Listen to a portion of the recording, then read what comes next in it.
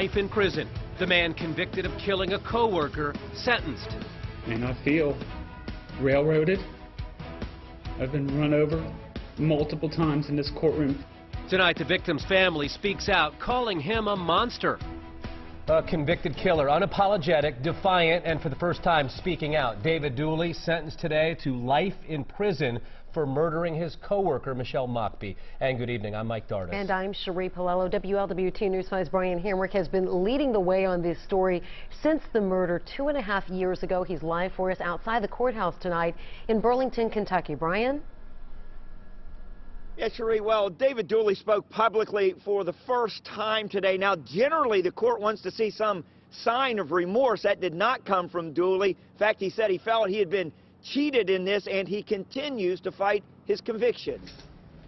David Dooley entered the courtroom with no intention of making an apology. Instead, close to the opposite. Courtroom is divided between the people who know I didn't do it and the people who think I did.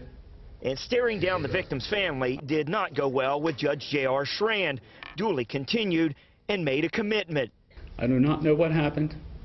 All I know is that I did not kill Michelle Mockbee, and I stand by that. And I will continue to fight no matter what happens here today.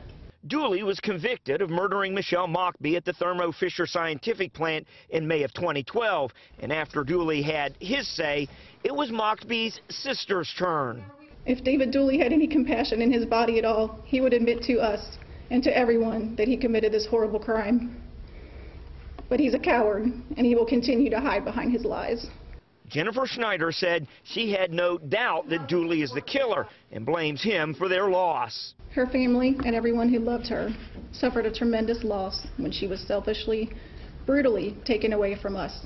Judge Schrand followed the jury's recommendation, sentencing Dooley to life in prison, running at the same time as a five-year sentence for tampering with evidence. And while it was the last day of the case, it won't be the final day in court for David Dooley. He already plans to appeal. And Dooley's already hired an attorney for that appeal, Deanna Dennison. There's also a wrongful death suit against Dooley. Reporting live, Brian Hamrick, WLWT News 5. Brian, thank you. David Dooley now has 30 days to make that appeal.